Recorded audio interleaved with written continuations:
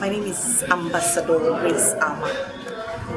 Yeah. What do you do? I'm an actor, an Nollywood actor. Is that all? I'm an Nollywood actor. Okay. We know that you actors have very, very, very hectic schedules. So how do you relax? You just said it that we have hectic schedules, but I try as much as possible to be able to take out time to relax. Because um, once that body breaks down, there's nothing anybody can do about it. So, as much as I can, I take out time to rest. Okay. So um, there are lots of people there that want to be like you. So what do you, what can you tell them? like I would always say, um, just be sure that you have it in you.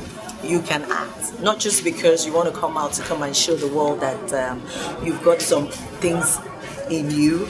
Um, that is contrary to acting. Because we know that most majority of the ladies nowadays they want to come into the industry maybe just to show off what they've got physically, and not because they have the acting skill in them.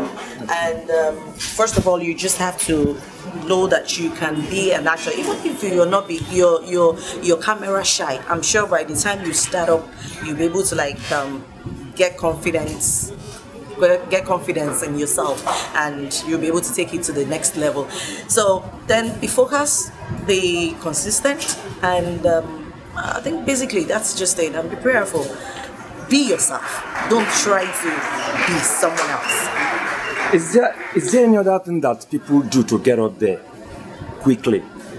Um, well, I can't be able to speak for other people, but obviously there are things that people do. That's if they are desperate. They want to get the they want to get there by any means, do whatever it is, even if it has to be that you have to sleep your way through. And um, that's why I use the word that you have to be focused, don't be desperate, don't um, just take things one at a time. You, you don't expect to come into the industry and the next minute, yeah, fine, you might be fortunate, you get the heat when you just, as in at the first one. But if it doesn't come that way, you still have to remain focused, be consistent, and be patient. All would fall in place. Okay, give us your most hilarious laugh.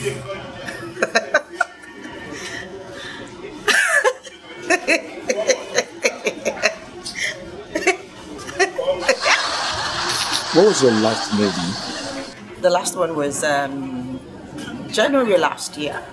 No, no, no. My last movie wasn't January last year.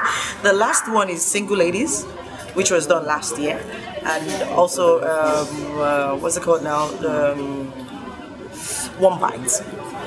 Can you remember a very interesting scene in it?